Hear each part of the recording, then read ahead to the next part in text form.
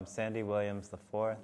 I guess all through the Virginia school systems, and now I teach at the University of Richmond. So I'm an artist, an educator, kind of, I feel like someone who's just civically engaged in mainly public space has been kind of the theme of a lot of my work for the past five years, I'd say. My work in public art sort of started in that vein of wanting to recontextualize the ways in which we get to inhabit space, especially public space. Early in that, I was realizing how much red tape there is around the ways we're allowed to engage with the public or the spaces that we inhabit. Totally. Um, I think Reconsider is a huge part of that, in that we're in a big moment um, with public space and public history and the ways we're telling those things the ways we're building memorials and monuments to sort of um, carry a lineage or a history.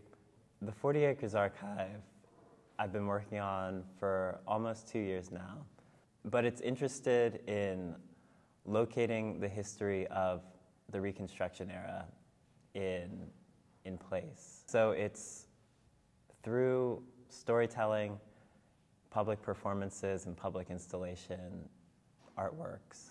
I think we're, we're right in line with that idea of trying to build new context around the ways that we tell those histories, um, acknowledging histories that have been forgotten or sort of excluded from a more national public popular narrative, um, especially sort of centering black and indigenous histories as they've been excluded from popular narratives. Um, and so Chimborazo Park was a great place to start being in Richmond um, when I started this project. In doing that project, in researching for it, I had found that um, Chimborazo Park, before it was a public park, was a freedmen community. And I didn't know what to do with that at the time.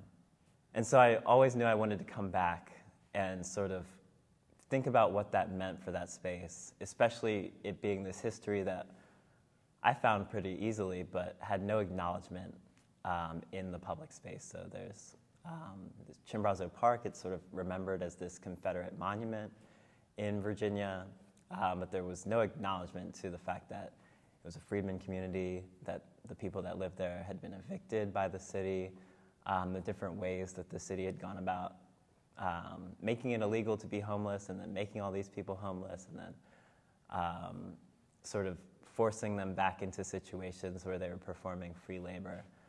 Um, but if you understand that history, that city starts to make a little more sense. So it was a project to sort of come back to that and acknowledge it and build language around it. And that's kind of how the 40 Acres Archive started, was thinking about that one place, but then realizing that that's kind of US history.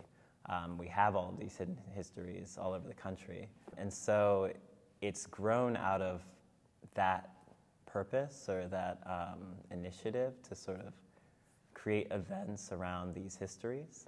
And so I liked having the opportunity to see what 40 acres really looks like um, as what that space could be, but then also the way that it was temporary and it dissipated. Um, so I like that, the way that it sits in that space of being temporary and not taking up permanent space. Continuing, I guess, in the memories that we keep about that performance. Um, and, you know, like the documentation being in video and in photography.